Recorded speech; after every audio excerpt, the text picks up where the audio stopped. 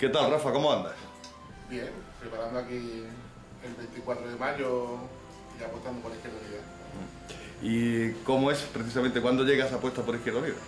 Pues mira, yo empecé, decidí empezar a militar en Izquierda Unida cuando llevaba ya varios años trabajando en el Consejo de Juventud, interviniendo en política, eh, y sí descubrí que había un partido que era más fina a mi idea y que las defendía y entonces cuando dejé de ser ya coordinador del Consejo de la Juventud, decidí pasar a la militancia activa dentro de un partido político que estuviera acorde con, con mis ideales y por eso entré en Izquierda.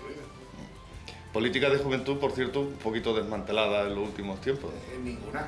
Creo que para un ejemplo, el año 2000, 2014, este último año que ha pasado, el Partido Popular en Juventud solo hizo una actividad de juventud durante todo el año, porque se dedicó a desmantelar la Consejería de Juventud con la ley de administración local. Y es una de las cosas que, que habrá que recuperar. Sí, en nuestro programa viene a recuperar la, la Consejería de Juventud y darle una- la visibilidad que merecen los jóvenes en, nuestra- en nuestra ciudad. ¿Y cuáles crees que son las necesidades que tiene la, la juventud a nivel ciudadano, que se puede hacer desde una corporación municipal? A, a nivel ciudadano, pues los intereses de la juventud ahora mismo son son súper claros. Quieren, empleo, quieren vivienda, quieren desarrollar su, su proyecto vital. Que es lo que, lo que no está dejando hacer el Partido Popular y por eso, por desgracia, muchos jóvenes, entre ellos muchísimos amigos míos, han tenido que emigrar y, y irse al extranjero. La apuesta de Izquierda Unida, pues, por ejemplo, tenemos una, una medida con Vincorsa de crear un banco de, de viviendas juveniles con alquileres sociales, con derecho a compra para que tengan de- eh, una posibilidad de poder emanciparse.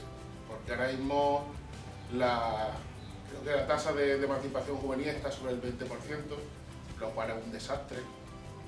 Y entonces hay que empezar a que, que los jóvenes puedan desarrollar su vida. Y hablamos de personas de, de 30, 35 años que no pueden salir de su casa. Y eh, eh, ahora que estamos en campaña, ¿cómo la llevas, por cierto? Bien, cansado, aquí intentando hacer todo lo que se puede y, y bien, súper afrontándola con muchísima ilusión. Se te iba a decir que que en campaña como estamos estás viendo que la juventud es implicada o se implica o que tiene ganas de implicarse o Sí, que la- tiene los vehículos para implicarse. La juventud en los últimos años ha empezado a, a empoderarse en el tema político, porque si, si pueden mantener discusiones de, de política con, con jóvenes. Hace cinco años recuerdo que, que tú hablas de política con otros jóvenes era un mundo aparte, o era alguien cercano a algún partido político, a alguna asociación, o no podía entrar a una conversación, que que, eso no, no le importaba. Ahora sí hay interés por, por la juventud y la política. Sí es algo que, que sí ha, conseguido la crisis, que, que la política llega a la gente y que de verdad se den cuenta que, en la política se decide sus vidas, que no es- la política no es ajena.